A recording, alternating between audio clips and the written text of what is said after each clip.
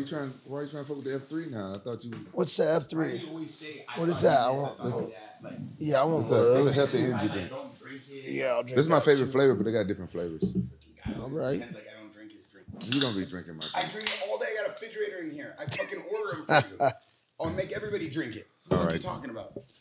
All right, but I never see. I never seen you. I never see you drinking it. Today I'm not in a mood. I got my nose broken yesterday. Who, who broke your nose? Gabriel. Hey, hey, every time he get hit somewhere, oh, I broke my rib. I broke my, I broke my arm. I, did broke my my nose. Yeah, Mosey man, you, did break man, my rib. listen, you sitting with two of the toughest fighters that ever stepped foot in the goddamn cage. We know, what we a tough. broken I nose know look like. I know we tough. We know what a broken I nose know look we like. tough. I Your know- nose ain't broken. I know we two tough guys. I get it. What you mad about? That's pretty straight. Yeah. pretty straight. Does it look broken? no, I think you're gonna be okay. Gabriel Silva, Yeah. Anderson Silva's son, he's sparring with me and he's like, yo, let me just touch you a little bit. Don't get crazy. And he hit me. I go, yo, don't hit me like that. He go, I barely hit you. So I throw overhand right. Ha! Miss him. But then he saw, uh. he heard it. He heard it and he goes, oh, we're going to play that game. Watch this. Ding, ding, ding, ding, bing, bing, bing. Ba, ba, ba. Next thing I know, I got blood. What's wrong? Headphones?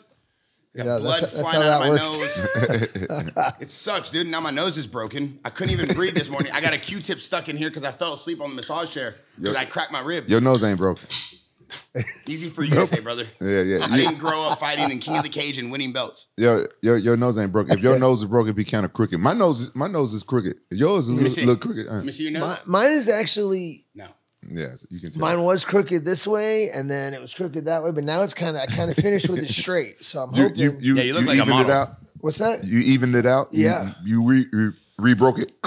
Well, what I do when I break it, I just it sounds kind of gross, but what I'll do is I'll go I jam my finger all the way up each nostril. Like as soon as it breaks, I just right after the fight, I'll jam it up there, and that that straightens it out Oh, before the swelling sets in. Nah. I- that, that is good. That, that, sound, that sounds painful. Hey, it's better than having them re-break it. You know what I'm saying? Just Yeah, get it- once they just, heal up, then they re-break it. Yeah. just get it done. You know. we just saw Chito Vera at the coffee shop.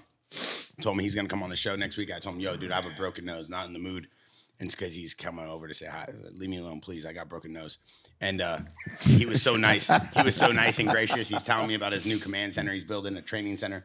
And uh, my, I have a broken rib from Luke. No, because Luke body kicked me. Yeah, because everybody's bullying me now that I love sparring. This is like my first week of sparring, and I just started learning. But everybody likes to kick me. So before Luke went to Dubai, he I told him kick me as hard as you can. I called him a pussy. He said, "Don't don't say that." And there was That's a bunch what of girls here. Again, that's what happens, bro. You can't- Yeah, there was a you bunch of can't girls. do here. that. Yeah, so I, you're a pussy, and he kicks me, and I, I I almost cried, but I for sure I was broken in half for like a day. yeah, whenever you touch him, it's broken. Anything. Listen, we got an MMA legend, an icon, one of the best guests we've ever had, one of the toughest guys to ever compete. You've heard it from Joe Rogan, you've heard it from multiple UFC analysts. This guy is literally one of the toughest to ever compete in the sport of MMA.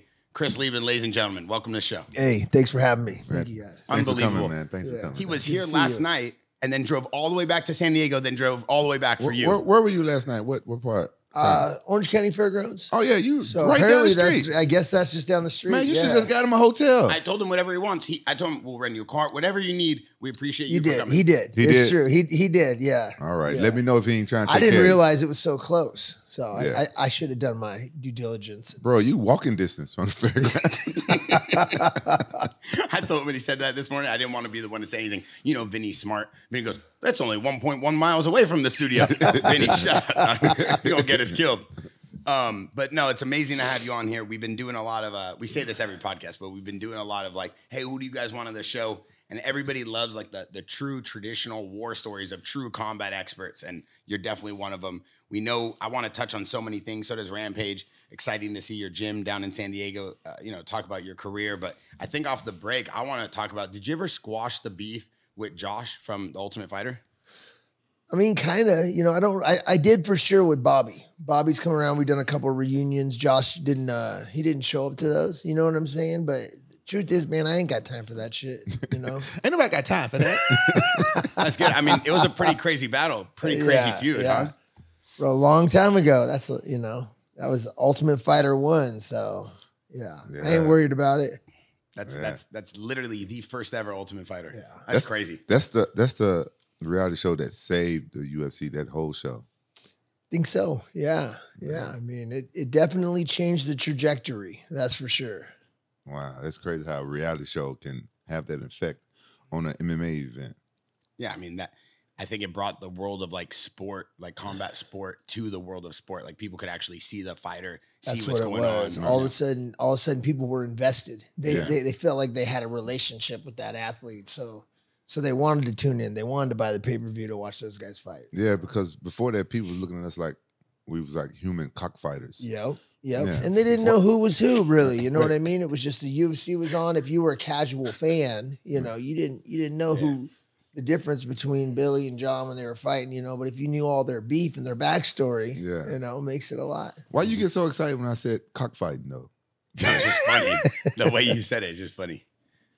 I didn't get excited. I said it's funny. What do you you want to do this I- off I- break? No, no, I'm just saying. I just, I, you know, he went I into started sparring explain. for one week now. He just wants to always pick fights with me. Like, bro, I'm half your size. If you want to beat me up, go ahead. But I'll give you a battle. I'm, Well, just wing an overhand, bro. That's all you gotta do. you see that new thing I learned? Ah, ah, same side kick, leg kick, TJ.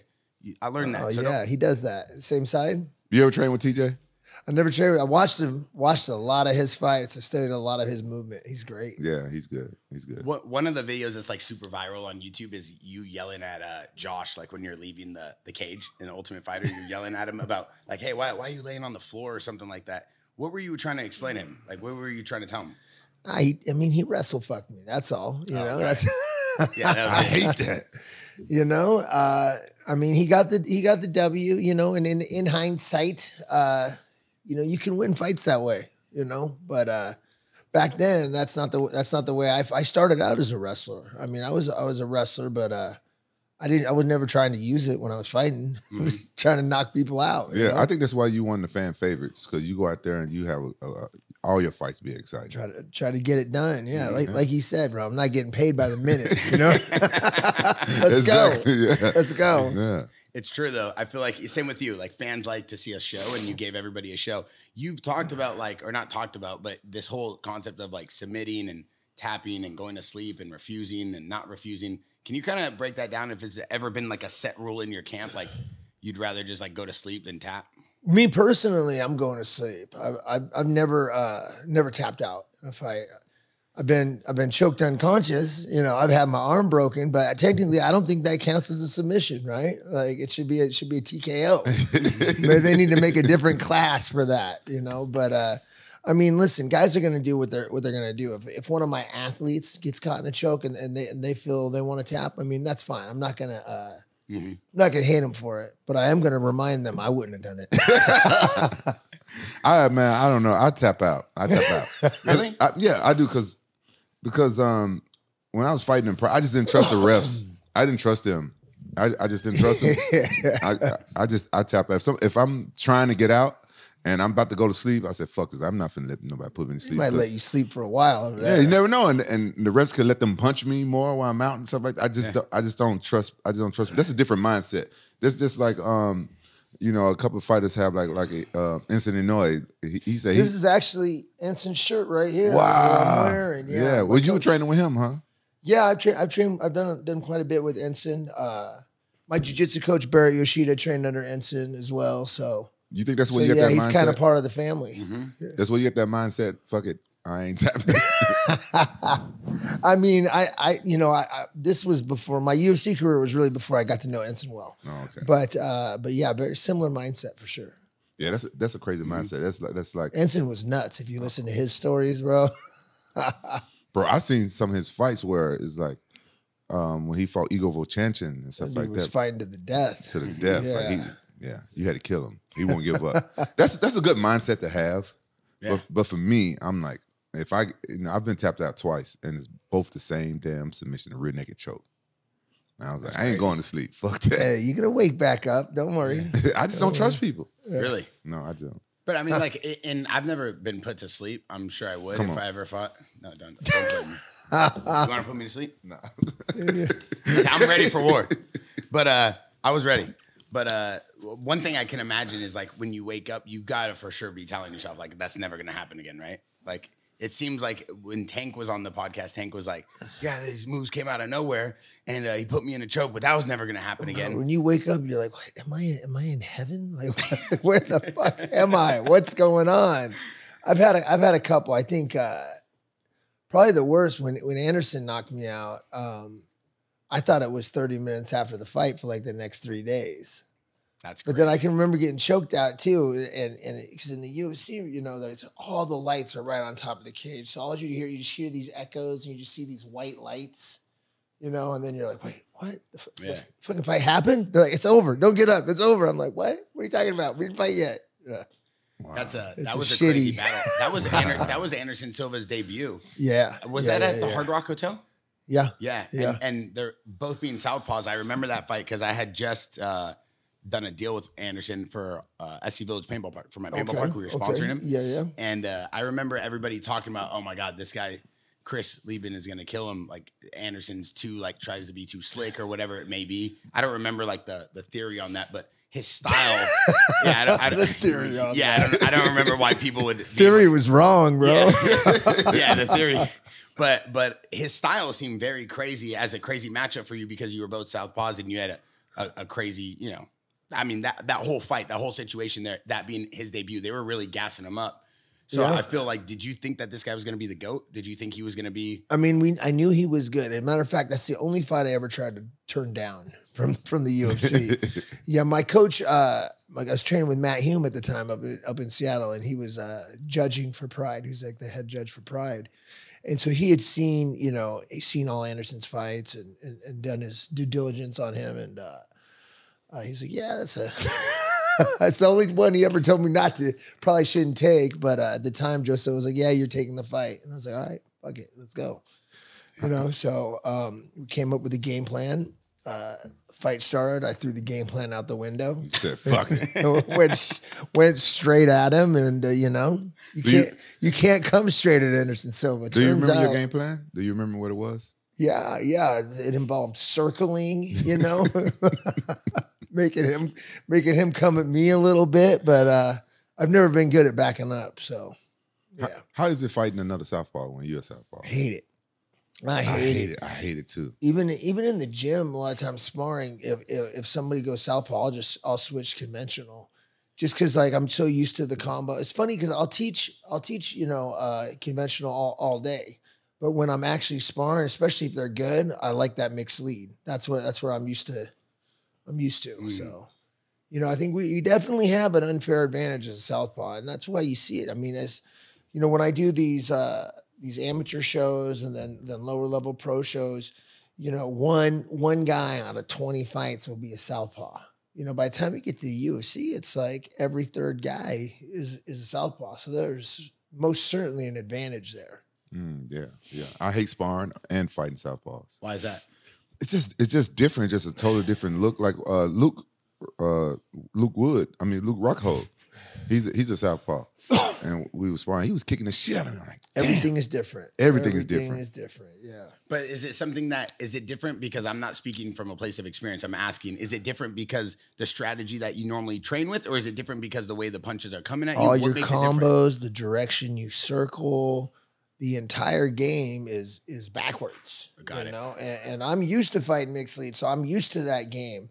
You know, now I'm not saying one is better than the other. I suppose if you were, you know, used to it, if all you ever sparred, if I was southpaw and I only sparred southpaw, same as a Mm. right hander fighting a right hander, you know. But uh, um, yeah, I like that advantage. I like that mix that mixed lead for sure. I can't even get my jab off on most uh, southpaws. It's hard for me to get jab my jab Jab is a little it's not it's worthless Yeah. Yeah. against the southpaw to be honest you know it's, It's- just not as valuable of a tool Yeah, that's crazy. Even Mosley was showing you in the ring the other day, Sugar Shane Mosley, Yeah, about when you're sparring and kind of like pawing the, the jab down a little bit. yeah. I, I do that when I when I fight a um, southpaw. They call it sword fighting. Remember we went over that. mhm. And and but he was teaching us to, to do it even if they're right-handed. I'm just used to doing it when I go that's southpaw. funny that's what i tell people all the time i said yeah Really? it's almost like you're fencing Yeah, Right? it's all yeah. just it's all bullshit right up here yeah. you know what i'm saying i'm just looking for this i'm trying to line this up playing the game over here can i get over can i get under you know yeah And you and That's why southpaws always have that lazier jab, that arms out farther. You know, see, conventionally, you got to keep it tight, but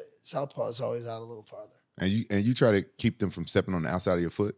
Me, I mean, most of the time, yeah. No, there's, you know, just like anything, there's always exceptions to the rule. Yeah. Sometimes I'll cut right, cut right, then dart left. You know what I mean? So, But why are you southpaw? Are you left-handed or you wrestled in that in that stance? uh, both, both. I'm a true southpaw. Oh, okay. I, I don't do nothing with my right hand. So Mm. But- swing a bat left-handed, I right left-handed, I throw left-handed, I skateboard goofy foot, you know. My mom told me I was born left-handed, but my dad changed me. So, but I can't do. I can't. I can't even switch southpaw or nothing. Okay. I got three. I got three left-handed kids. No way. Yeah. That's crazy. Three of my Maybe kids. you were then, yeah. Yeah. yeah, and two of my brothers that. left-handed. But did you do anything with your left hand? Jack off. Bro, that's every every kid. Every kid I get in the gym tells me like like I go, all right, well, what are you? Are you left-handed or, or right-handed? Every single person I get is fucking ambidextrous nowadays. Yeah, they want good. they want to they want to stand both ways. I'm like, just let's just fucking let's just suck at one for now, okay? Then we can worry about sucking at two later. All right? I, I, saw, I see a lot of people at Antonio McKee's gym doing it. They they fight both ways. Yeah, yeah. I, I think I think as you know, don't get me wrong. As you at first, you got to know the rules before you can start to break them. You know, at least you know as a coach, that's my standpoint. But uh, yeah, nowadays you got to be able to, to to switch it up a little more. Are you still sparring with your students and stuff? Yeah, yeah, Yeah, yeah. I stay I stay pretty active. You know. What one thing about staying active, I'm trying to I was trying to pull up the fight history, not as a fighter, but as a judge and, and a ref. Because a lot of people don't understand that not only are you one of the most legendary MMA fighters, but now you're starting this new career as a judge, as a as a ref. Yeah. We saw the Herb Dean video. Can you kind of break down a little bit to me how you even made this transition or why you even are doing this? Oh well, I, st- I, I mean, I, it's actually been quite a while. You know, I was amateur uh, here in California for like five or six years before I ever went pro. Maybe two years ago um, for CSAC for California. As a judge or as a ref? Uh, both, I, Both. it's both. In California, I judge and ref, and then also um, recently, I don't know, six nine months ago, I, I started uh, started judging for for Nevada as well. So in Nevada, only only judging, Mm. but but here judging judging and refereeing. And only for UFC fights? No, I do. We do everything. You know, we just had a King of the Cage in San Diego. I had I had boxing last night. You know, so so up next was one I had on Saturday. Yeah. So how do you become a, a judge in boxing? You got to study box. You got to study all the the rules and all the stuff in boxing to become. a- Yeah. you had to study it. You, you got to go to school for it, or is it a class? yeah. Well, I did. I mean, initially I did uh, Herb Dean's course. You Uh-huh. know, which which is you know for MMA is the only way to go. Really? Yeah, yeah. You got you, used used to be Herb Dean or Big John, but I don't even know how much Big John's doing his course anymore. So I think Herb Dean might kind of be the the only way in. At least in California, you got to pass. You got to pass that course, and and um, How long is that course? it's it's not too long, but it's quite difficult. You know, I thought I would. I thought it'd be really easy. You know, because I've been fighting my whole life, but uh, you know. Um, I was really surprised. I think out of my group, I might have been the only one to pass Herb Out of Dean got a monopoly. out of like 15, 18 people. Yeah, I think I was the only one to pass. Wow. Pretty sure. Um, what makes it so difficult? well, you know, besides, you know, you, you obviously you gotta you gotta know it on paper. You gotta know you gotta know all the rules, right? You gotta know all the violations, right? You also have to understand jujitsu. You know, you gotta you gotta know, hey, if this guy doesn't want to let this heel hook go, which way am I going to apply pressure on this guy to to stop to to alleviate it so I can so I can save this guy from any more damage. Oh wow. you know so i mean there's you know it's it doesn't seem like it to me now because i've been doing it my whole life but there's a lot of there's a lot of stuff you got to know you know Yeah. i mean when you're when you're the referee you're kind of the uh the sole arbiter you know you're the you're kind of in charge of that show you got to you got to work with the doctor you know you got to make sure your judges are there you're going back and forth with the timekeeper you know you're trying to make sure that the you know that the rules are followed at the same time you know my mentality as a, a, a referee is, you know, I don't want to be, you know, I don't think a, a good referee should really be seen or noticed until they need to Mm. be, until until they need to be. So you know, I don't, I don't try to do anything special to draw attention to myself. I just making sure I'm watching the action. I'm making sure that there's, you know, there's no low blows, there's no eye pokes, nobody's trying to grab the cage, you know, which, you know, sometimes can be uh, Mm. be difficult because you know I think a lot of people watch they watch fights, you know, and they watch it from the from the they watch the replay from the best angle in slow motion. They go, well, obviously, but man, when punches are flying and one of those punches there's an eye poke in the middle of that combo, it can be hard to, you know what I mean? This was that a knuckle or was that a finger? You know, it can be so. So it's it's pretty. uh Yeah, it can be it can be tough. And some people, the last thing I'll say is some people I think they just can't handle the stress. of being in be, being in there with two dudes fighting. They get kind of spazzy and stuff. Um, you know, and I think maybe maybe maybe having fought helps me a little bit with that. But but uh, I know a lot of great referees that, that have never never fought. So it's just a, definitely a personality type. So if you see a fighter make a mistake and eye poke someone, but the other fighter don't complain about it, you just gonna you just gonna let it keep going, let the fight keep going, or will you stop it and be like, Well, so so here's the question. Let's say the other fighter is winning. Let's let's let's say let's say I'm beating you, right? And then you kick me in the balls, but I, but I don't show anything, right? Because you're tired, right? If I give if if if, if the referee steps in and gives me timeout, he's the one recovering. His lungs are recovering, you know. So so unless they unless unless I can see that they that they need that recovery, you know, I'm I'm not going to step in, especially especially if they're winning especially if they're winning and they're they're finishing. This guy's, you know, he's losing, and then and then then he commits a foul. I might let it go. You know, This happened to me so many times. Uh, I'm fighting and somebody knee me or kick me in the balls, and I just keep going keep going because I know Yeah. they need a break sometimes. I wear a Really? steel. I wear a steel cup. Me too. when I fight. Yeah. Yeah. Wow, I, that's an interesting like opinion or a view on that because you, you are right. I could imagine if I was losing, I would be like, oh, I just hit him and then I'll get my two minutes or my one You get, minute. yeah, they get five minutes, right? I right? never even thought about that. Right. So if the other Wow. guy's on his injury timeout, you get a you get a recover Wow. too. So Yeah, I bro. start doing that when I spar. Bro, it's a lot of stra- it's a lot of little small strategies that, that people don't really think about. Yeah, I mean, then there's other things we can do too. Like, for example, you know, you don't want to stop the fight. If somebody's fighting for a takedown, the other guy's grabbing the cage. You don't, you know, if they finally do get, even if if that, you know, if that grabbing the cage, you know, the guy finally gets a takedown, I don't want to stop the fight. You know what I mean? I might just take the point on the fly. You know, so Hmm. so there's a lot of different ways you can you can handle uh, the same situation. You know, and trying to trying to find the right one at the moment can uh, it just it takes experience. That's What's your stance on uh, uh, some of the fights you think that'd be like early stoppages, or because you're a tough fighter and you you thinking this guy can take take more or something like, like that? You like, what's your stance on that? Some some fights, some reps, you say, oh, that was you want to you want to know the truth? Here's here's the truth. You referee long, you drive a car long enough, you're going to get in a car wreck, right? Is that fair to say? Yeah, yeah. Yeah. Okay. I got in one this morning. You if you if you referee thousands of fights and long enough, you're going to let one go too long, and you're going to see what happens to that guy. Yeah. You're going to have to live with that, Yeah. right? You're probably going to step in and stop one early, and you're going to see what happens to that guy. Maybe you you know, in my opinion, I want to give them every chance to. I want the right person to to win and come out on top, but I don't want anybody to get hurt. So stoppages. The only way to look at it is your stoppages have to be perfect. Mm. They have to be. They have to be perfect. It's like it's like being a, a, a- surgeon. You don't get to come in and have bad days. you know, you know what I mean? Like you got to come in and nail it. And as a as a referee, anytime I'm refing, that's that's the way that I step into the ring. Like I'm gonna do everything perfect, everything perfect, everything perfect. That's what I say before every match. I tell myself that, you know, and that's you know, obviously the mark to strive for. Yeah. You know. And, and you know, obviously, you know, you go back, you watch fights, just like I did when I was fighting. I, I go back and I look at fights that I refed, and I go, what worked, what didn't work, what needs improvement. You know, just like just like you treat martial arts, you treat refereeing or judging. You know, and you go, how can how can I improve? How can I be better? Am I too close to the action? Am I, am I too far away? Was my, was I too aggressive with my stoppage? You know, was it early? Was it late? Was you know, and and that's that's the only way to improve.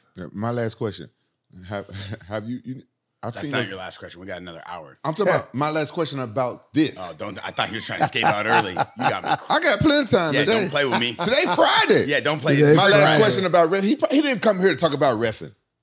No, but I'm he- very interested because I think I honestly think that more fighters should get into refing because I remember when I was doing the Ultimate Fighter, they had this one lady there that was I'm- I mean re- judging and refereeing and stuff. This one lady that was there with her kid. She was judging the fights. What? Yeah, she had her kid there, and her kid was running around. She was tending to the kid while the guy's fighting, and she the judge.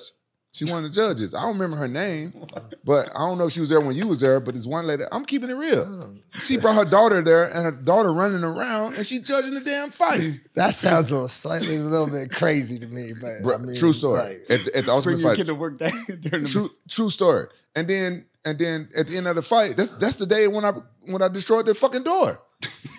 and at the end of, and, and, and, and at the end of the day, they give the fight to the other guy. I was like, whoa, if you're gonna give this fight to somebody, it should have been it should have been at least a draw, or I think my guy you know, did enough to win. We always do. I know we do. I know we do. But at the same time, I'm seeing this damn judge, right? So I, I was saying, uh, I was going to say, I've seen these clips on TikTok stuff like uh, the guys get choked out or knocked out, and they don't know the fight's over, and then the ref breaking up, and they're attacking the ref. Yeah. Anybody did that to you? Yeah. Yeah, yeah, yeah. you had to for, put somebody to sleep. for sure, for sure. That's do? that's happened. What, well, you try to be nice. I mean, you got to be understanding. You know what I mean? But at the same time, you gotta, you know, you gotta protect yourself. You know, But try you- try to downplay it. You know, so usually if some if somebody gets knocked out, you know, obviously they're they're my number one priority, right? And I'm gonna and, I, and I'm letting them know, don't move. You're all right. No, you're good. Just just breathe for a second, figure out what's going on. You know, usually usually a couple seconds they figure out what happened. You know what I mean? Most of the time, They don't get up and try to swing on you. most of the time, I've had to sprawl a few times.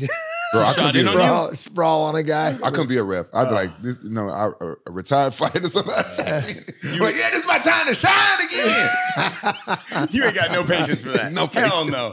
This guy uh, would. You would hit someone. Hundred percent. I don't know if I would hit. I don't, lightweights fighting. You would hit someone. I don't know if I would Yes, hit them. you would. Especially if they just got knocked. If maybe they just got choked out. Yeah. But if they just got knocked out, I don't want to hit them. They could probably get hurt. you You'd know? kick him or slap him or something. I, I would slam them. I would. I, I would like have my glory days back again.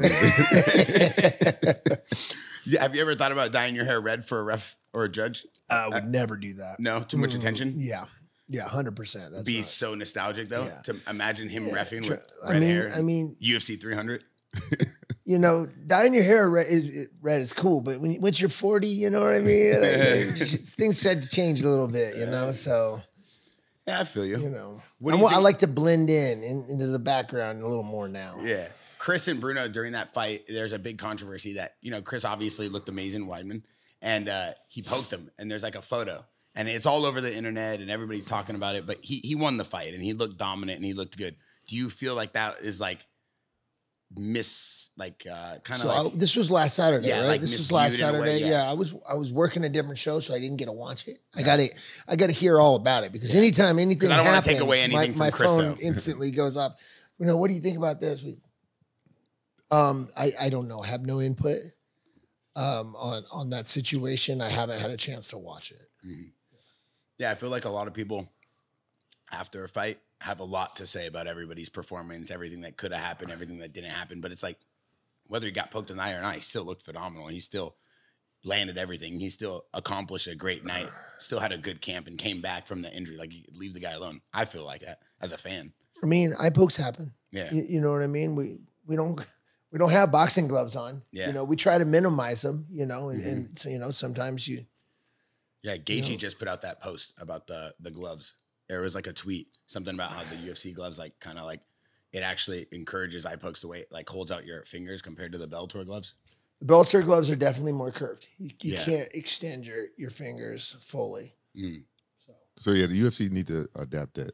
I, I thought they did change their gloves. I They- was told they- they did. those those gloves have gone through quite the evolution from Mm. from just from when I started. Yeah, I Got it. remember they've they've changed their gloves several times, and I'm sure they'll continue to you know modify and try to try to dial them in more and more. I don't think I've ever eye poked anyone in a fight. I don't think I've ever done it in training. Have you ever been eye poked in a fight? Yeah, come on. By who? Jon Jones for sure. for sure. Is that the first time you've ever disclosed that or no? No, Do come on. people know? Yeah, people know. I, I, I've complained about it. All right, just You know, I, I didn't. I didn't make excuses of that's why I lost. But you know, that is the excuse of why I lost. Though uh, how were you involved with Henry Cejudo's fight in Anaheim? Were you judging it or, or were you uh, yeah, well, I judged that one. you yeah. judged that fight Yeah, yeah, Yeah. two ninety eight. 298. Yeah. at the Anaheim fight we're at? I looked up the, his judge history and it had uh, like Henry Cejudo. I was like, so you don't judge the whole card? You just judge that one fight? No, I judged uh, just three or four fights on that card. Yeah, But then they swap out the judges. yeah. Why yeah. do they do that? Yeah, well, so we can so we can remain alert. I mean, you know, the UFC is a long show. Yeah, so like just You know explain I that to me, Ju- so just- just so I know the the rules. So you judge the few fights, and then they move out all the judges. They bring in a whole new crew. well, especially for well for for uh, for bigger shows, generally they're they're rotating the judges just like they rotate the referees. Same wow. referee doesn't doesn't doesn't Yeah. work every, everyone, right? So so you, you know, I don't make the uh the roster, you know, for what fights I'm on or what order it's going to go in, but uh but yeah, that's that's that's generally the protocol. You know Jeff Mullen? Yeah, Yeah, that, that was my first coach ever in Oh, Memphis. he's From, really? yeah, he's from Memphis. yeah, he is. Yeah. He is. Yeah, yeah. I'll see him tomorrow. I'll tell him I of said hello. I miss Yeah. him. Okay, I Yeah, will. I will. Yeah. He's a great guy, man. He's great. Yeah. He's great. He's wealth wealth of knowledge too. Yeah. He's been in the game for, For forever. Forever, yeah. Yeah. He's first got he's first got to train me. I was um helping one of my old friends train for his fight, Uh-huh. and uh, three days before the the fight, the champion, his opponent pulled out, Mike Powell. Oh, Mike Powell. Yeah, Yeah. His champion, his opponent pulled out, and and Jeff Mullen like, hey, you want to fight? I'm like, yeah, who? And he told me who it is. So you like, fought Mike Powell? three days notice. Oh, your first fight. My first fight in Memphis. yeah. I remember back in the day, Mike Powell was kind of he was a man. Yeah. know? Yeah. He was a man in Memphis. He was undefeated. How'd you do? I won Wow. by decision. Okay. Yeah, yeah. I tried to throw his ass out of the ring though because I was tired. Man, you know, I, I had, at of that course po- you did. At that point, Of I had, course you did. I had only been wrestling, been taking jujitsu for for three days, was just learning what Mm-hmm. Mhm. jujitsu was, and he was fucking me up with the jab. I'm like, I, I grew up He was street fighting. Yeah, He was fast. I grew up street fighting. I knew how to fight, but but I'm gonna tell you this: from a street fighter stepping in, in, in into a ring with a with an experienced fighter, it's like apples and fucking grapes. It's a different. It's a different thing. It's a yeah. different thing. Yeah. Yeah. So as we talk about your career as a fighter, one thing being three and one in, in bare knuckle. You know, we saw a bunch of clips. We see you just destroying people. We also saw that clip that went viral with Joe Rogan talking about that cut you had. And we've just seen you being able to kind of like control the fight and the outcome of the fight, just like championship caliber level fighting. And you did it in MMA and then you did it in bare knuckle. How do you train your hands for like a bare knuckle fight? well, I I have a different theory. My theory is they're gonna break. They're probably gonna break. You know, Wow. just plan on it. Just plan on it. So. Uh, maybe if you know if I started off with you know kung fu or something and I had 20 years to punch sand and everything, then then you know I might do that. That might work. I don't know. Never tr- never tried it, but but my my theory every fight camp has always just been you know I'm just going to take care of my hands and when I I'm gonna break them in the fight. You know, I just don't want to. I'm not trying to do anything more to put put my hands to anymore. Just just training hard, just hitting pads, just punching with little gloves. My, I mean, I got to put my hands in ice water after practice already. You know, I try to try to take care of them as best I can, and then, you know, hope for the best, plan for the worst. That's Yeah, crazy. That's crazy. That's why. That's why I don't want to do bare knuckle. Because you just you're going into the fight knowing that they're gonna break. I Is that mean, why? It's a Is that it? possibility, that- yeah. that's it. that's the way I look at it. Yeah, But and what normally breaks on your hand in a bare knuckle? I fight? this one I shattered this knuckle on uh on Baroni's head. Hold it up to the camera. Uh, Yeah. It's kind of you can see it's a lot quite a bit bigger on that side of that one, you know. Wow. But uh, now it's actually better. Crazy, It's yeah. actually better for punching now. It's like a little marble. You know? So, it's kind of happy with it, you know. In the end, Are you still doing bare knuckle? no, no. You just no. retired from everything. I'm retired from everything. I'm actually uh, I'm going to be refereeing the bare knuckle. It's coming here to California, so that'll be Oh, wow. exciting. Oh, That'll be wow. exciting. Yeah. Yeah. Yeah. April 27th, we're finally going to get our first BKFC out here. That's going to be awesome. Where where that going? What arena? You know? Peacock Arena. Peacock Arena. I can't remember exactly where that Mm. is. Where is that? I don't know. I don't know. It's down here somewhere. Yeah. Yeah, it's right here somewhere. Yeah, Bare Knuckle has an amazing kind of organization. It's right growing now. fast. It's growing so fast, and they have Mike Perry kind of just being the star of that right now, just kind Yeah, of so propelling it. Perry and Pitbull, I think, are the main event out here. That's Oh, gonna killer. Pitbull from Bellator. Yeah. Oh, no way. Oh wow, that's huge. Isn't that who? Uh, didn't Or, AJ uh, McKee? Yeah, AJ McKee fought him twice. And then that's who he lost his belt to. Yeah, he won the belt from him, and then then they took his belt. AJ didn't lose that Tiago, fight. is that right? I don't know which one. I, I get them. They both named Pitbull, right? Tiago Yeah. Alvarez. Yeah. Oh wait, wait, wait. Hold on. It's two Tiago, different. yeah, yeah, yeah. Oh, these we talking about three different Pitbulls right now. Tiago, Yeah. we all have our own Yeah, version. it's of three. Pitbull. It's three Pitbulls, ain't it? Oh, okay. The two of them brothers. They both Pitbull, right? I, ca- I don't No, know, that's- man. I don't. That's the brothers, but they're in Bellator, right? Right there in Yeah, yeah. Bellator. But both of them, both of them are Pitbull, right? What do you mean? They both use the same nickname? Yeah. That's crazy. Am I right, Vinny? Thank Really? you. I'm right. Either either way, both both these guys are uh Yeah. they're like juggernauts the way they fight. Jesus. You know what I mean? Yeah. They both are sluggers. So As a as someone who's such a like extraordinary view on the game, as a fighter, as a judge, as you know, someone who refs, what do you think makes Mike Perry success in bare knuckle after having kind of a somewhat mediocre UFC career? his style, bro. He's he's durable and and he comes straight. For, be, uh, bare knuckle is a different sport. It's not boxing. It, it, it's not MMA. It is all gas, no break. You know what I'm saying? That is a small ring. You know, you got to be able to uh, give heavy damage and absorb heavy damage at the same time. And and his style, that's what he does. He can, he'll take one and give one right back. You know what I mean? He won't take a step back. And that's the kind of style you need to have, you know. We've seen excuse me, we've seen boxers come in and try to jab the guy's face off and stuff, and that doesn't that doesn't seem to work, you know. Um, yeah, it is uh it is a high high you gotta have that high pace, you know, style. I I think. I think it's the best. I, I'm gonna tell you. Um, I think uh, Mike Perry he, he'll do well in boxing. We uh, Hell yeah. you remember Shannon Briggs and I? We Mhm. um we they put us against each other, uh, team captains in this um triad thing. with- with Triller. Okay. and they put MMA guys against boxers. and um, Mike Perry's fight is one that that won the whole thing for because it was like a point system. Mike Perry fought some boxer. I can't remember the name of the boxer, but the guy was tough. He Well, dro- he- he dropped Mike Mike Perry. Mike Perry came back and beat him. You know, you bra- you brawl a boxer, you box a brawler.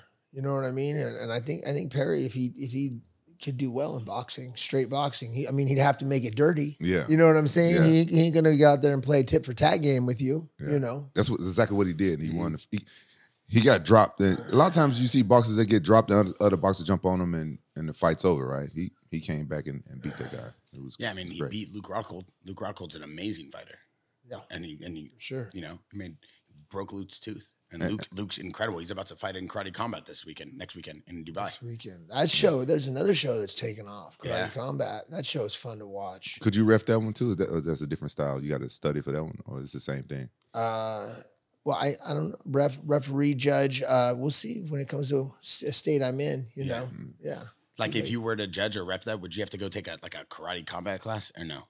Or you just like, gotta learn their rule book or something. I don't think so. I Yeah. think it'd be, be a similar scoring system. If it was around back in the day, would you have fight? Would you fight in that karate combat? I'm fighting anything that Would you- whoever's paying the most. Yeah. yeah. Uh, you know how karate that combat. Yeah, I don't know if I would. Could they be what? Do they be wearing like those long pants like they used to wear in like kickboxing back The in the day? PKA days. Yeah. I don't know about that. I think it's kind of cool. You think it's cool? Yeah. I can't wait to watch Luke Rockhold be able to use kicks. I haven't seen him kick in a long time. And then fight at this. And this guy's in here every day with his shirt off, like running around with all the girls, still in top shape. So I know he's in good shape. He runs every day. Like I'm excited to see him. Hey, he got a tough fight though. He's fighting Joe Schilling though, right? Oh, yeah. Did that- right? I mean, it's Luke Rockhold. The dude's a world champion. Hey, Luke. Hey, Luke. Luke Rocco. He, he, He's one of us. yeah, he's one of us. He, he got that dog in him. But I'm just saying, man, his opponent is pretty tough. That's all I'm saying.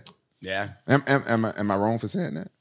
That's there's nothing wrong with saying that. Yeah, nothing wrong with saying that. But but you haven't seen you haven't seen his opponent fight. yeah, I have. Hey, he's good, but it's Luke Rockhold. I oh. gotta, I gotta, I gotta put out the good energy, my man. I, I'm, why you trying to trying to why you trying to say like I'm saying like Luke gonna get his ass kicked or something? I just like want to clip this and send it to him. Oh, that's fucked up. But you know what? It's, it's like I was saying earlier, right? You, you prepare for the worst. Yeah, You know what I mean? yeah. Every every opponent I ever fought was the, was the toughest, baddest version of, of that person. Yeah. You know, that's the one that I want to beat. You know what I mean? So I always make them up to be like like a giant in my head. You know, hmm helps keep me on track. keeps you like sharp and not not, not Yeah. sleeping at the wheel. One of the things we saw a bunch of people leaving comments when we were asking people in our Jaxxon podcast Discord. We use it every podcast now. We go in there and we put who's coming on. We let them ask questions and we delete the thread and see what anybody says. Is everybody said you KO'd Wanderlei Silva in 30 seconds, 40 seconds, and Tw- Twenty seven. 27 seconds. Uh, you know. Okay, let's be hey, let's be exact.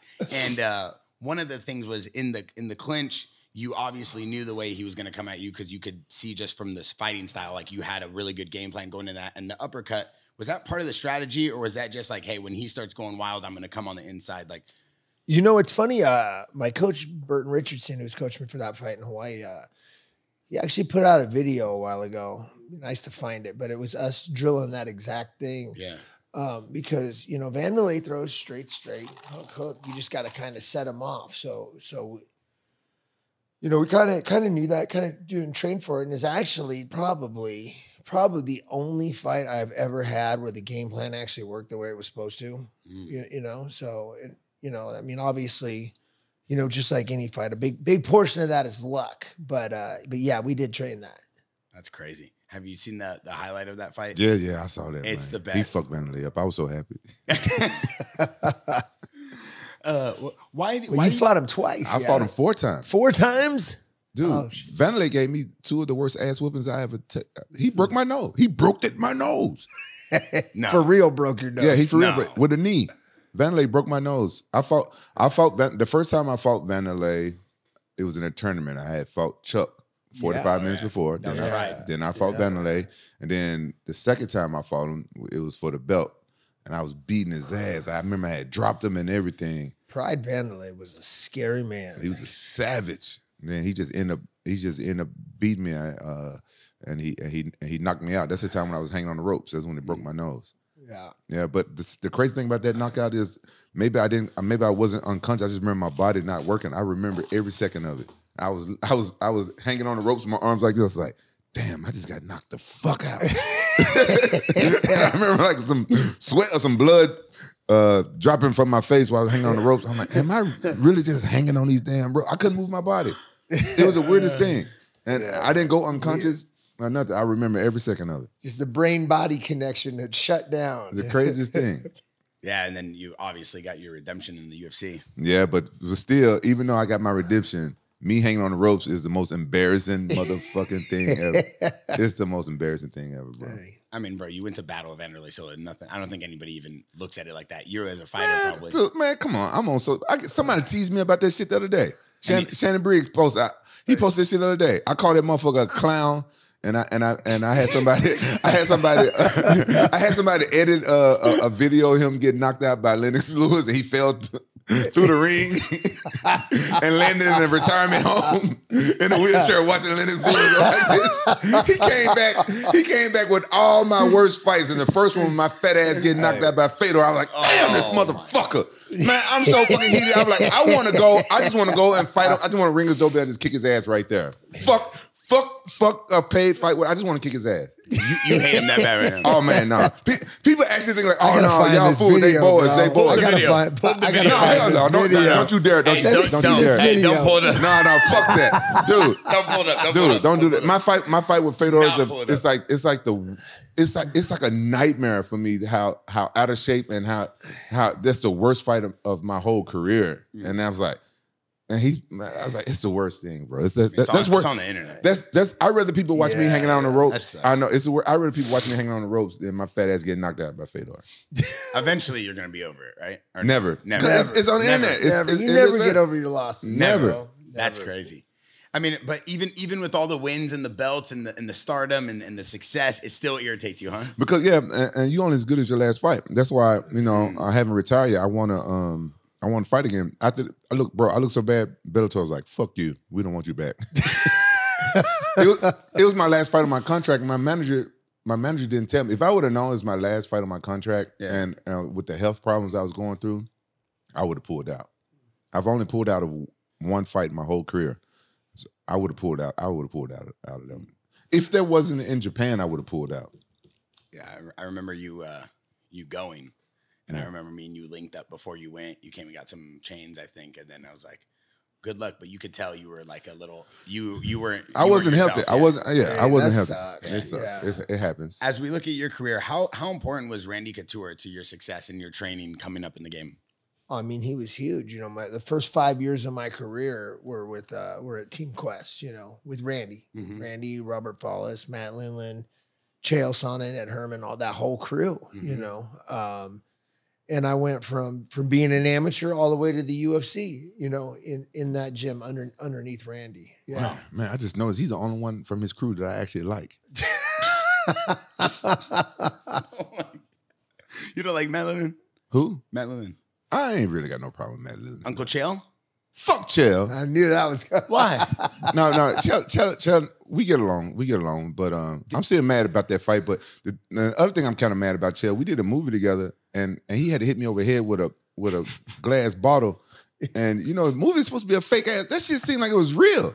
That motherfucker cut the top of my head because you know I'm bald. I had like Yeah. little glass shards on the top of my head and shit. Was not like a fake bottle, like a prop It- bottle. yeah, it's supposed to be like a breakaway bottle. But, Okay. But I, I don't know. He hit me so. I, he had some. He had some animosity behind that throw. Like I'm like, yeah, man, we're supposed to be acting. no, it was cool. He, he was he he he said how awkward it was for us to fight in the movie after we fought in real life. I was like, yeah, it's really awkward because I That's I- weird. Because I tell Chael, I, I still want to kick your ass. So he kind of knows that. Yeah. Mm. But he's cool. He's Yeah. fun. He's What- a funny dude. He's a good bro. dude. He's a He good cracks dude. me up. What about Randy Couture? What do you think made the way he trained and the way he kind of built the team and, and the style of fighting for you guys so unique? Well, for me, you know, you know, luckily, especially at that time in my life, my, you know, I think I was maybe 21 or 20 when I started at Team Quest, and uh, you know, watch watching Randy and, and his level of uh, the way the way he treated, you know, his his diet, his workout routine, his his training, bro. That guy was never not in top top shape, you know, and that's why he was winning titles and you know, in, in well into his 40s Jesus. you know um so i mean that made a that made a huge difference in in in me to see what it what it takes to to be to be a champion and to you know Mhm. um to compete at the highest level at least and uh you know randy randy helped me in a, in a lot of ways because because at, at that time bro i was uh i was lost youth you know what i mean so that so to see some to see another man that actually had structure and regiment and was was reaping the benefits of, of his hard work. There was nobody else like that in my life at that at that time. So, you know, um, and you know the the the, in, the positive influence, you know, was huge. If it wouldn't have been, if it wouldn't have been. you got to be kidding me. I'm sorry. I'm sorry. What, what is the Polycosta juice is that? I'm, I'm sorry. That was a 30 second gulp. Doug, he's in the middle of a heartfelt good. speech. Whatever it is, Yeah, what's good. going on over there? I'm sorry. I'm sorry. Was it was it loud or something? Loud. I'm It sorry. was like Nemo You're the fish, dog. Yeah. I'm yeah. Cut that cut that shit Don't out. cut loud. any of that out. Yeah, That no. a- yeah, continue. I'm sorry. I'm sorry. I apologize. so so yeah, I mean, but but you know, far aside from from any of the techniques, just the, just the way that Randy conducted himself and, and the way that he trained, and then him being there and help guide and push me, I, I think is is what what you know one of the for sure one of the reasons I got- to where I where I got. There's a video on YouTube of uh, Uncle Chael saying that he he really always like liked to check in on you, and you were one of his favorites. You were his partner in training, and that he you asked him to take you pro or to take you through the amateur ranks or something like that. Is that true? Chael, Yeah. Yeah, Chael, Chael was there for me since the since the very beginning, and we we still stay in touch. He'll shoot me texts, "What up, man? How you doing?" You know, so so we still talk, and uh, yeah, a lot a lot of good rounds with that guy, man. Yeah. a lot of a lot of good rounds early in my career. Is so. Chael, is he a good guy? He's a great guy. He seems he seems like a cool guy. He's a Why do you laugh when you say he's a great guy? he. Cause he's a funny dude. He talks a lot of shit. That's why- that's why- I mean, I remember back in the day, we used to, you know, after we'd practice, and then after practice, him and I would sit there. We would we would just re- rehearse our post fight speech. You know, like, you know, I mean, he's out. I mean, he's like the, you know, it's like Ted DiBiase or something. You know, Mm-hmm. the million dollar man. Yeah. Sometimes when you hear him going off, it just cracks me up. I always said he should have been a pro wrestler, bro. He's really good. He's Very really, good. At, very, yeah. Yeah, he's, really, he's really good at promos and talking on, talking on the mic. His show is very That's a huge. That's a huge part of our sport. Yeah. you know, you know what I mean. So, and he nailed that part.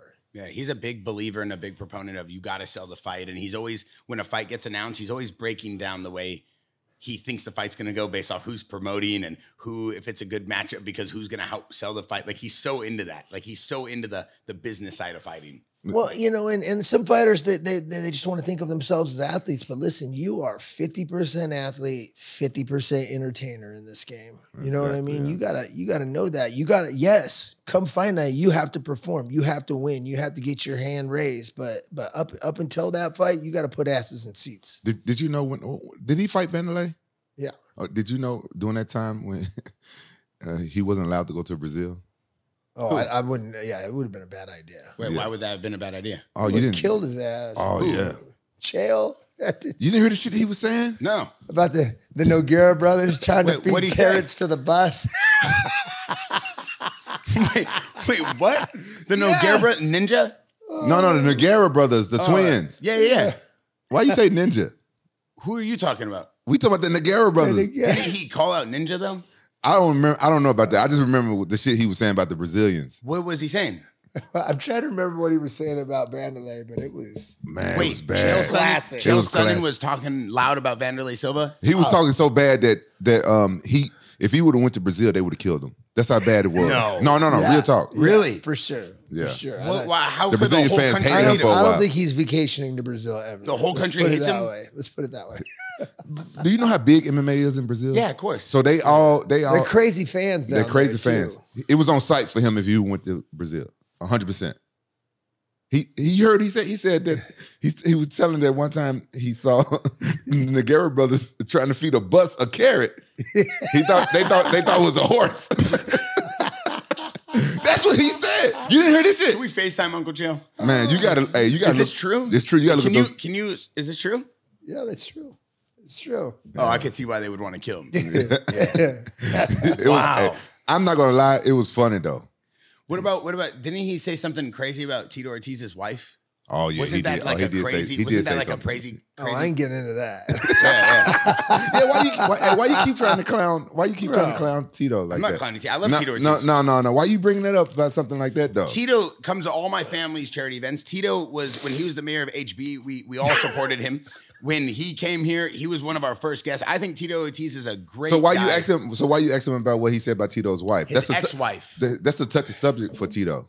No, I don't know. I'm saying didn't Uncle Chael say something bad? There's Yeah. like this whole video about He what- did say something bad, Oh. but uh, why are you bringing that up though? I'm not bringing it up. I'm asking. He seems to have a lot of insight. This guy's an MMA I don't know legend. nothing. Oh, okay. oh, so he didn't. It was all good then. They're all friends. Well, I don't know if he, I don't know if Tito will ever be friends with him I after what he said about Tito's ex-wife. Uncle Chael. Yeah, I don't Yeah, think. I don't think, they're friends. No, they're friends. not at all. Meh, maybe I gotta go look after this. Now I gotta I gotta call Tito up and tell him to watch this research. episode and see that you trying what you trying to do. I would never. hey, first of all, I'm the biggest fan of Tito, and, and if you do that, then I'm gonna have to call Tito and tell him what you said to Tank. Exactly. I didn't say nothing Yeah, Tank. yeah, yeah. Let's move on. Yeah, let's move on. Wait, two could play that game. Two could tango. So one thing I want to talk to you about is uh, in terms of MMA, a lot of people like to do this list, this Mount Rushmore list.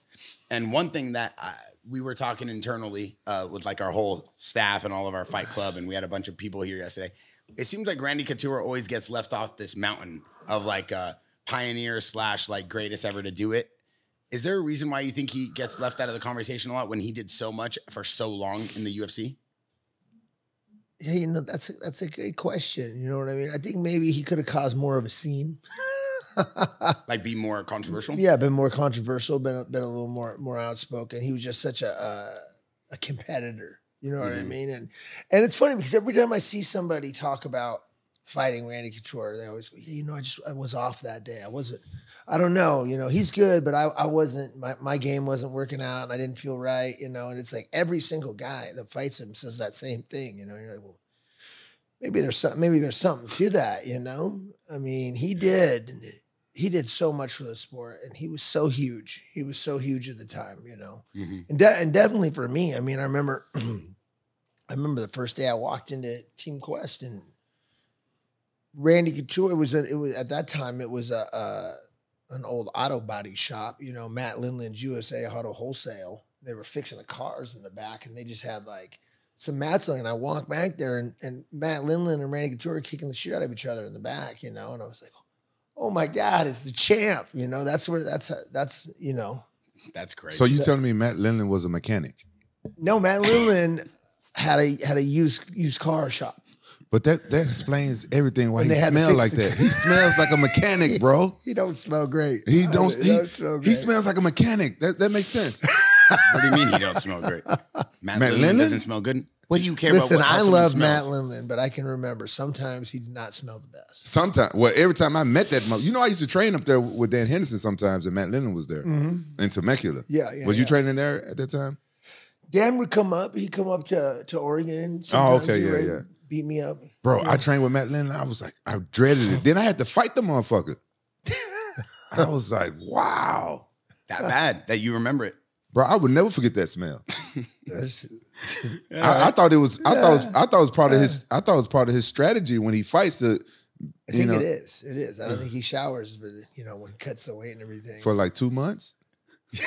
At least the whole weight cut. I'm gonna tell you, he smelled like two weeks Two weeks. At least. at least. Yeah, that's a is that's a strategy? You know, that's a that's a that's a strategy. I, I remember one time I fought one guy in K1, and he smelled like that. But he actually he was worse than Matt Lindland because I had to shower two times to get that guy smell off me. Oh, that's terrible. That, should be. I mean, that should be uh, a, a Illegal. rule. It should be illegal. How about you- how about- that's a health issue? you Yeah. know, like Yeah, For you- you to remember this many years later, yeah, it know, must be staff issue. and all sorts of stuff. Like you have to shower before your fight. That should be a rule. that should be a rule. I like that. Yeah, um the attitude and kind of you as a person now we see is very humble very respectful and you kind of are setting the tone for like an athlete and a, a business owner and someone who's very successful outside of the cage before this turn you know we see videos of you like you know drunk at a slot machine the night before your fight hammered and then you go in and you win the fight the next day like it seems like you were just living a lawless life at the same time just brawling and doing whatever you want is there any truth to that yeah, yeah yeah. That's pretty. He remembers, man. That's Yeah. pretty much. Uh, yeah. I was a little wild. A little wild. Have you ever fought drunk? I fought hungover. oh my god in the Def- ufc Yeah, you know. oh my god. I've god! definitely fought hungover, but actually fresh drunk, no, no. Maybe there was maybe there was some sort of blood content left, but yeah. And you trained drunk. You've drank and trained before. Oh yeah. I don't see how you can do it, man. it used to work for me, you know. And people go, you know, Chris, what if you know how far could you have made it, you know, da da da, if you wouldn't have been doing this and that. I don't know.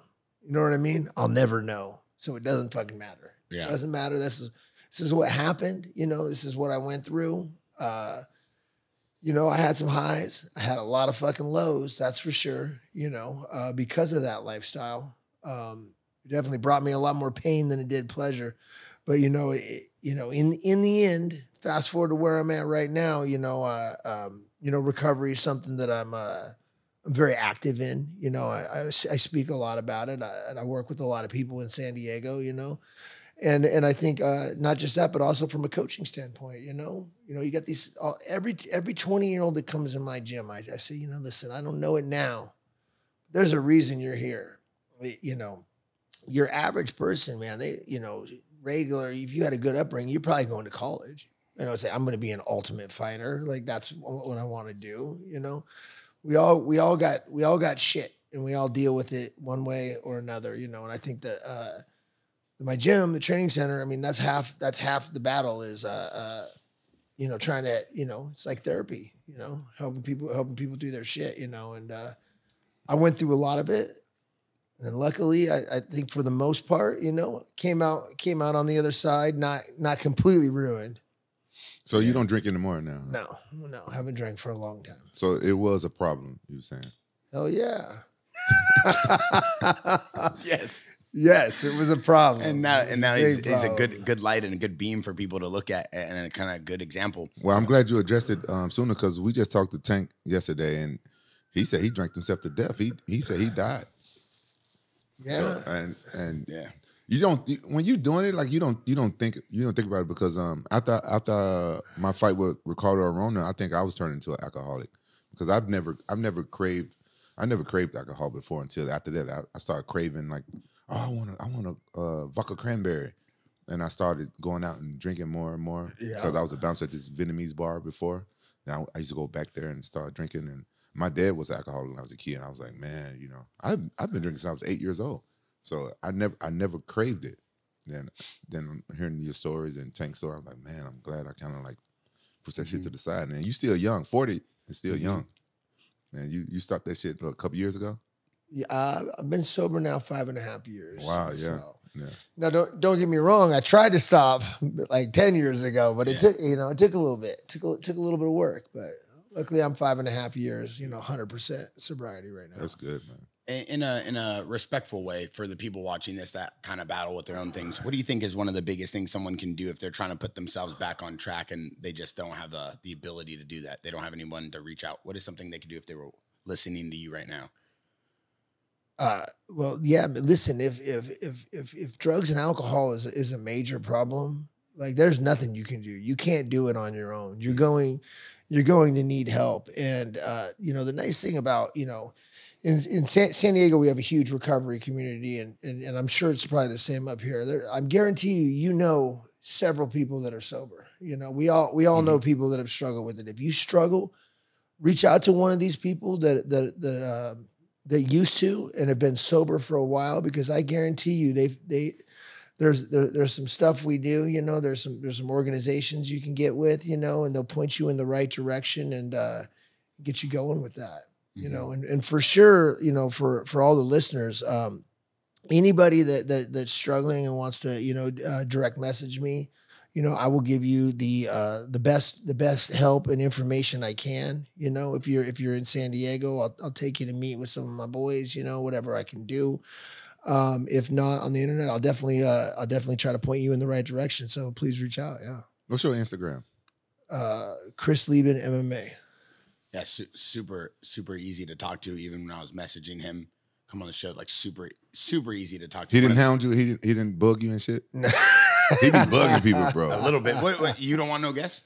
Oh yeah, we don't want guests. I, I'm not saying that. hey is that that's the hardest part about having a show Bro, huh? you have no lining, clue. You lining have no guests clue. up Till It's- four in the morning every night. The entire world of MMA. I'm buying flights from Brazil. I'm buying flights from the UK. Boxers, fighters, WWE. Now we're doing action sports. I mean, Yeah. me and Rampage are, are the main show, which is Mhm. Jaxxon Podcast. Mhm. And then we have these like smaller shows as a way to just try to build our culture and community a little bit. We have one with Twitch. He's a motocross, you know, freestyle legend. yeah. Ryan Sheckler and P Rod are legends. yeah. And then Luke Rockhold and TJ are like our co-co-host when we do the fight. Eh, You know, I'm not gonna say anything bad, but like when we when we are like reviewing a fight, sometimes Rampage doesn't watch the fight. So when so when we so when we come in here to like you know do a full analysis of the fight, Rampage is like, when was this fight? And they're like, oh, that fight was last night, and that's why we're all here today. So it's good. It's good that we have TJ and Luke here. But besides that, yeah, it's it's it's a full time job. Thank Yeah. the Lord, I have a good team. I have Vinny and Loco and my whole squad Bro, here. I couldn't do it. I couldn't. I couldn't. I couldn't go and ask people to come on the show. I've asked a few people and stuff like that, and a lot of times they just, you know, you know, I consider them like friends, buddies, or whatever. And they was like cold shoulder and leave me on red. I'm yeah, like, fuck this. You know, it's Fuck just- this part of the job. there, there's there's a job for everybody out there. You know what I mean? Just Yeah. dep- depends on your personality and stuff. Like, yeah, I think it would be hard for me too. Yeah, Yeah. but the only Yeah. reason why I said that because Bu- Bas Rutten straight up said like he was finna block Bear ass. Bear be like, like Boston Royce Gracie, I, I did not stop texting them or calling them until they responded. yeah, yeah, yeah, yeah. Like Royce Gracie was asleep in Brazil, and I would call him and say, "Hey, what's up? Good morning." He said, two in the morning." thing. Like Ho- Royce Gracie ain't having it. Yeah. And then uh, Bas, but they were super respectful and kind, and Yeah, they both came guys. on, and we flew him Nice. out. The thing with me is that I'm like. I don't want him to have to ever do it because he's a legend. He shouldn't have to, and he and I don't want him to like uh, like I'm scheduling people. So I'm just on it all day, and then I just it, say, I'm, yeah, like, yeah, we need it. We're trying to put together the best show. We're not trying to do it for any other reason. Like we, I turned off the AdSense on the account. We don't even run ads on our YouTube. It's strictly just for us to have good combos with legends like yourself. there you go. That's you, awesome. As we get ready to wrap this thing up, one of the things is you retired after that uh the Uriah Hall fight. Yeah. Okay, Yeah. is there anything that you feel or you regret, like a fight you didn't take, or or something you could have trained harder for? I know it's probably easier now that you're a little bit more focused and, and you have your training center and everything else going on. Yeah, man. Like I said, you know, you know, the last few fights in my uh, UFC career were fucking terrible, terrible. That last Uriah Hall fight was, uh, I mean, it was really horrible for me because you know, and I've talked about this before. Uh, for for being a guy that's never tapped out, that you know, the the fights that would fight to the death. I pride myself on that shit. and I always did. I just didn't answer the bell for that last round. You know, it's like, I- you know, I feel like I did enough, but I had so much you know, with the, the the drugs and alcohol and everything that was going on with me outside of the cage, um, you know, and that haunted me. It haunted me for a while. It wasn't until, uh, you know, then uh, you know, kind of the short version of the story. Um, then then all of a sudden I I got sober and uh, I started kicking the shit out of a lot of the twenty year olds in the gym again. And I started getting a fire for training it again. You know, and then uh, that's about the time uh, Bare Knuckle called me. You know, and and my bare knuckle career is 100% sober you know all those fights Wow, you that's know? good, i fought all those fights 100% sober and and i had three first round knockouts. I had one loss against a guy named dakota cochrane and and that that for me is the most rewarding fight that of, of probably of my life. Uh, because there's a lot of things you know I won't get into you know going into the fight this this that da da da um, but I, I will tell you that motherfucker hit harder than anybody I've ever fought in my life. I think he broke my orbital like first or second punch of the fight, right? Wow. First round, you know, and I had You know, that's the one where Joe Rogan's talking about the cut. There was like 30 something stitches here, 20 here. They had to stitch my nose back on. Like my face was hamburger. But but we fought five rounds. Wow. We fought five rounds. I fought like that and I and I finished finished that fight. Now the judges gave it to him, you know. Damn them judges always. No, he he definitely I, I definitely looked worse for the wear, that's for sure Yeah. but uh but you know it, it let me know that that that's who i am that's the kind of fighter that i am Mhm. it wasn't the guy that quit on the stool his last ufc fight that was all that other shit you know what i mean once i took that out i, I went back and i was able to can never right or wrong of course you know but uh, i was able to prove to myself you know so that that that's why that's probably the most rewarding fight in my career I was thinking about this. Um, I think this this this morning, or yeah, I was thinking about this this morning. You know how we always think about time machines. yeah Yeah, you thought you you have that thought. I wish there was a time machine I can go back. i'd to be the, a time tourist bro. yeah, I, I you know I'm black. I can't go back too far in time. but I go. I tell you. I tell you where I go back. I, I would go back. I would go back in, in time right before my Shogun fight in my in my career in my life. That's that's where I, that's as far as back I would go. yeah Where, yeah. where, where, where, where in your career would you go, uh, or in your life, if you if there was a time machine? you know, this trajectory that I'm on right now, uh, my life has improved so much and it's changed so much and it's been through so many different seasons.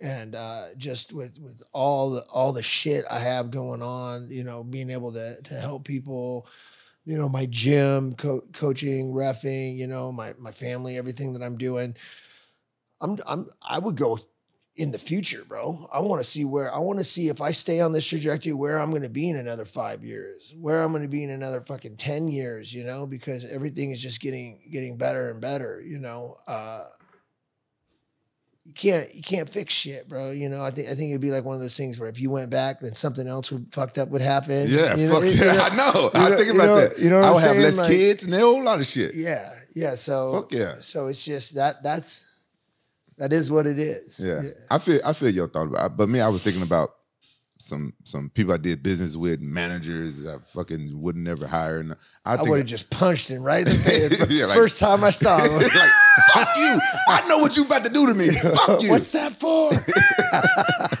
Oh, that's that's what's up though. You go to the future. That's yeah. That's what's up. Mhm. I never thought about that. I never thought about going to the future. Yeah, I think it depends. I think his outlook on life right now is very uh uh I don't want to say positive because everybody's outlook is always positive. It's very, you know, let's not worry about what happened and let's build. and I'm let's- excited to see where I'm going. Yeah, it's cool. Right, and, I, and some of that stuff in the past, man, I, I want to leave it. I want to leave it back there. Yeah. Not I ain't every- trying to go back and fix it. Fuck it. Yeah. Leave that back there. not That's everything needs to be un- unpacked. Like even for me, there and then anybody, whether it's a small or bad mishap in your life, it, it is always there to remind you, right? It gets put there, I think, in a position to remind you. So like when you're in that position of success, you don't fall off again. I think so. in I a- I- in a I bigger think position so. of success. Yeah. Speaking of success, let's talk about real quick as we wrap this thing up. Your gym, San Diego. What's going on with this? What do you got going on with your training center? Um, the business as a whole. So so we're we're killing it. We're we're right in Pacific Beach in, in San Diego. You know, obviously, you know, if you're on vacation or you live down there, please please stop in. I got a uh, uh, Barrett Yoshida is is my jujitsu coach. Um, ADCC Hall of Famer. So we have an incredible jujitsu program. Um, then I, I do the striking side, you know. So if you want to learn boxing, kickboxing, you're probably gonna work with me. If you're doing jujitsu, you're gonna work with work with Barrett. We have a fight team, you know. We got like 260 members right now, and we're growing strong. What's Yeah. the name of your gym? The training center. The Training training center. center. Yeah, Can Barrett come down there and spar with you one day? Stop. Any day. I would love to come learn, not Any spar. day. No, I want- Why I do you want- want to put me in the fire so bad? Cause you think you Rocky Balboa now. I played the soundtrack one time and he won't leave me alone. With his shirt off, he got the listen. He got the boxer cup on. You know, you know the thing the boxers Yeah, wear. yeah, that's up here. The- the- what do you call all, those things? all the way up to his nipples.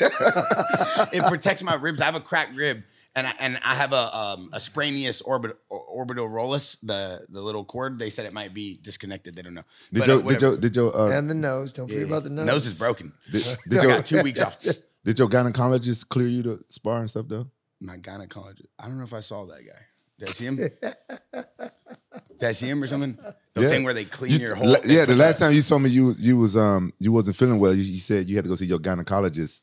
Yeah, so you sit on this table. They put like this.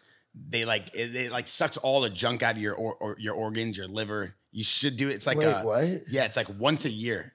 You see your you see your I a gynecologist. How once a does it suck- or something. I don't know what it's called. It's like a colonic or something. They said you got to do it if you're like really sick. So I got really sick. I did it, and it like cleanses your whole body. Man, I tried that one time, bro. Yeah, You tried you I tried was that? like, fuck, Yeah. never again. Never again. Me too. never again. I gained weight my, from it. My chick at the time bought me three because they said it takes three of them to like really like. Mm-hmm. They have sell you on the packages like a timeshare. Yeah. Right. I got it. I got it. And then I was like, nope. Fuck. It's supposed to be good to keep you from getting I'm, colon I'm cancer. out of here. Yeah. Hey, you know Oh, what? it's not a Yeah, I don't gynecologist. wanna- It's thank you. It's a colonic. A gynecologist. Yeah, is- what's wrong with you? Wait, thank you. Thank you. What is wrong with you? You're gonna make me sound stupid on camera. You think I would do I that to you? I was wondering where you were going with Yeah, that. I'm like- bro. I'm I like- was I'm like- where's- I'm like, It's wait, like is they that- set you on the. I'm like, wait, why is it? Why are you laughing? Uh, Thank the Lord, I got a good team. You gonna set me Man, up how like you guys gonna rat me out over there? Hey, you gonna set me up like that? Damn it! Man, hey, every time every time I come, you saw you saw him when I came in here make fun of my outfits and No, stuff like that. What, how did I make fun of him? I said Every you look time I come amazing, here. right? If I give him a compliment, Said Okay. you're ready for the club. Listen, He's if being I- sarcastic. here's the problem with Rampage. Rampage is a superstar. We know that, but he's been my Yeah, friend whatever. for ten years, so I don't look at him as anything but my friend. So when he walks in here and everybody's on him, oh, you look so good, you look so good. I'm like, yo, you look like you're ready for the club. Just an easy, nice compliment. I'm not gonna be over here like like on him, and then he gets mad as if like like, do you want a better? I'm 45 years old. What the fuck I look? What do I look like dressing up like I'm going to a club? That's that's not a compliment. That's that's a you know. You didn't I'm take 45 this years girl to old, go get enchiladas and chimichangas last Friday at the at the Mexican spot you always go to, Los Logos. That's a restaurant. Yeah, you was at till Lagos. three in the morning with Merab. Merab's a UFC fighter. You, Merab, rainbow margaritas and enchiladas and I was chimichangas. I was eating. what do you mean? You had like four burritos. hey, hey, real talk. I I met Merab there, right? They was carrying him. I'm not lying. the- That's no, a true story. He was at that restaurant at the after party. Mm-hmm. I thought that nigga was Mexican. the whole time. It's from Georgia. I had no idea. I thought that motherfucker was Because he was wearing the, the sombrero thing. What is that called? What's the sombrero called? What's that called? Sombrero. No, no, no. The thing that goes over you. It looks like this, but it's like a thing, got the hole right here. Yeah, the poncho. The poncho. The poncho. He's wearing a poncho. Not like the rain one, like a real Mexican traditional one. Man, for real though, I, I I felt stupid when when we had him here, and he I was gonna start speaking my Spanish to him and everything. I, at one point, I'm like, why does he keep saying like "como estás" and stuff? I'm like, I'm looking at Rampage, like, bro, the guy's not Mexican. The guy's from Georgia. yeah, you listen. So, so we're we're ready to wrap this up. So, what uh, what's next for you? Tell tell tell us. man you know just continuing on track like i was saying you know trying to uh you know build build the gym keep keep training people refereeing judging you know and uh staying sober and trying to help other people with that that's it That's what's up, man. Yeah. Super admirable about how you're so open to helping other people. I think one thing we need to do as a society is stop being so judgmental. And there's a lot of people that need help. They just don't know who to go to. So that, no joking aside, is super respectful and probably one of your biggest accomplishments in your career. Because as someone at your stature to do that, I have a lot of friends that are sober now, and they all say the same thing. They just need someone to get them on track. So it's awesome. Um, last thing I want to say is it true that you're coming back to fight? I heard that you were going to do a boxing fight. Yeah, we heard whispers. Yeah, we heard What? whispers that you were coming back to do a boxing fight, and that you you you, are had a few. me up No, no, no, You no, no. me up No, no, no, no, no, no. We heard I- whispers, bro. I heard you were gonna come back to do a boxing fight. I don't want to say the guy, but I heard I heard the name. It's a pretty legendary name. So I no don't. I don't no no Are you sure? is- You just- you- false You can't tell us. This, this- That- you can't talk about it. uh, he doesn't want to talk about it. You don't wanna yeah, talk about look it. at him. Look at him. that's false no Did they No, offer I'm you the contract already and you turned it down, or you just are not even entertaining them? i haven't i haven't i haven't heard nothing you guys know more than i do apparently You still got a manager? You still got a manager? no You, so you just like No. out of I'm gonna do it myself. That's what that. Yeah. Com- Yeah. that's what Yeah. that comment means. That doesn't mean he's not you doing it. can't, You know, you, the thing. The thing is, I, I, you know, I'm wearing a different hat nowadays. You know, I'm a referee, a judge. You know, coach. You can't, you can't be a fighter too. All right, all right. You know what I mean? I, So, I, I understand. I, I'm almost in the same shoes as you. Say this this this motherfucker right now that everybody's gunning for. What's his name? Jake Paul. He, how much money we talking? about? Uh, yeah, so let's just end it with that as we wrap this up. Mike Tyson, Jake Paul. Who's going to win that? Oh, I don't. I don't want to say. I don't want to say anything, but you know, listen, because obviously we all love Mike Tyson. He's old though, man. Jake, Jake, Jake can hit. Jake can hit. You know, I, I think that fight can play out a couple different ways, but but I think the longer it goes, I think I think I think Jake might be able to catch him. We'll see. Wow. Yeah, because I heard Jake got really good cardio, and I'm I'm I mean, he's not a terrible boxer. I've watched all I've watched all his fights. He's not a great boxer. He's Mm-hmm. Yeah. nowhere near where Mike Tyson was. You know, if it was a 16 year old Mike Tyson versus Jake Paul now, I would I would put every penny on that Mike Tyson. But Of course. but age age is a motherfucker, dude. Excuse So- me. You know, so just- I agree with him. 100%. Yeah, yeah. And actually, this is a great insight. So, real quick before we let you go, last time I'll say that, but I just want to know how, if you were in Jake's camp, how would you coach him and train him to beat Mike Tyson? Why would you? Why would you even? I just want to know what people think he needs to do to beat a guy like Mike Tyson. I Mike Tyson's my idol. I wear a Mike Tyson t-shirt every day. Don't come at me like that. You do that one more time, I'm I'm a spar you today. All right. I no, I don't want to do that. But don't do that. I mean, he's got to be ready. He's got to, you know, he probably can't keep him at range, so he's probably gonna have to hang on him when he gets inside, tie him up, slow it down. Can't let can't let Tyson stay in close, right? Mm. You know, pulling his head, make it make it dirty at least at first. Try to tire him out before you even start boxing. I wouldn't start boxing for the first first few rounds. Really? No, Why is that?